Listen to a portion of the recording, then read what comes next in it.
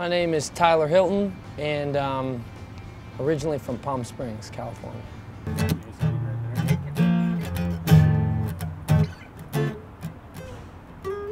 My family, they're all musicians and, you know, all folk players and country pickers and bluegrass players. It sounds kind of like cheesy and Partridge Family, but we would all get together and we'd always play, or someone's always singing country songs, and, and everyone just learned how to play guitar because there was always something lying around, and so it would always be fun to kind of join in. I learned a lot of tunes that way. So yeah, you said you heard the snow, maybe lived it twice, but with bias on my side. I swear I got a different one, be late,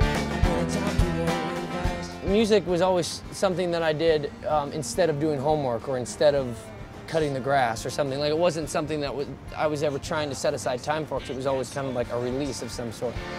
Good you know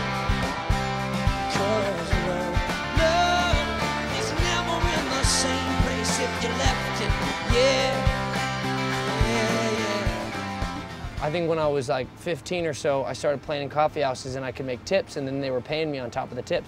And I was making money and I was like, my friends are washing cars or like waiting tables and like I can make money singing. And I've been singing and playing since I was really young. It was like, well, I'll just do this until someone calls me out and tells me I can't do it anymore. Well, Everyone tells me that they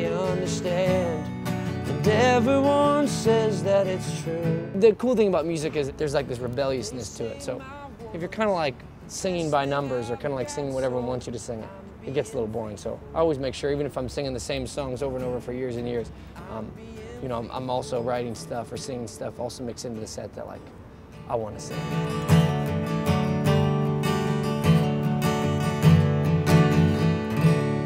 I think I just gather things as I go subconsciously, and, and then when I just try not to think and open up and sing, things come out, um, and I just try to write them down as quick as possible, and then look at them later and be like, wow, I see what that means. You know what I mean? So that, I guess it's just everything kind of inspires me.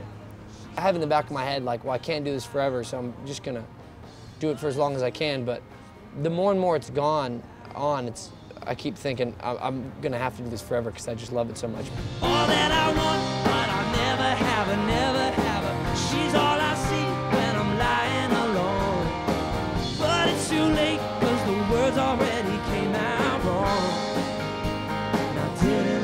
Till she was gone.